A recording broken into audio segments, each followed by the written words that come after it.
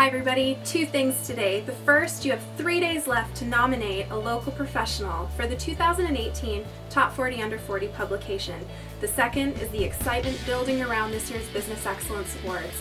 Doing things a little different this year, we're going to ditch the dinner and move to a theater-style award show. Along with our MC for the evening, we'll enjoy some local production entertainment and still celebrate 11 winners. Another exciting aspect of the Business Excellence Awards is sponsorship opportunities for local businesses. If you'd like to learn more about the various sponsorship opportunities available with our event, give me a call at the office. The number is 250-562-2454. I'd love to have a talk with you further.